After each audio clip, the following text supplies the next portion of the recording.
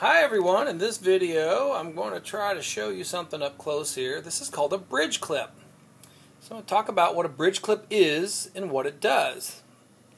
So what it is, is a piece of metal about an inch long that's folded over on top of itself, kind of like a taco shell, so you can see right through it.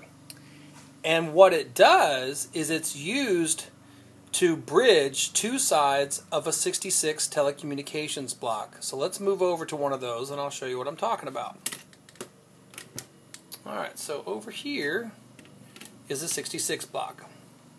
And the way that a 66 block that is split works is that on one side you have two sets of pins that share a common connection. Let's see if I can, I can wiggle these two simultaneously because they're connected. Now on the other side are two more pins, but they're not they're connected to each other, but not across. So in other words, there's not a continuous connection all the way across. There's a shared connection on these two, shared connection on these two. So what a bridge clip does, literally, is bridges all four of the pins together. It just sits right on top of the middle two pins, excuse me, which then creates a common connection all the way across on that particular pin. Normally, since most telecommunications connections are done in, in pairs, you know, two wires at a time, you're usually going to use two bridge clips at a time. So, why would you want to use this? Well, there's a few reasons.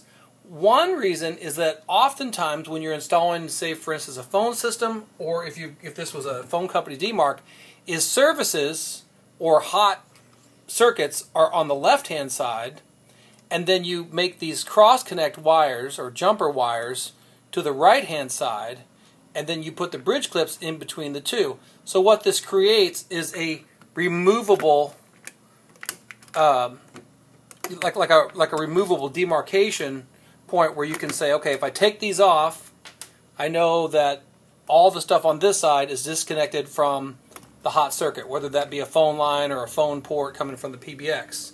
So this is a good troubleshooting technique because it prevents you from having to terminate, pull the pairs off, re-terminate again. You could just simply put the bridge clips on and off as needed.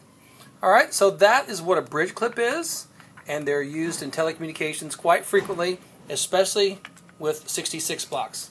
Hope that helps you understand bridge clips. Thanks for watching.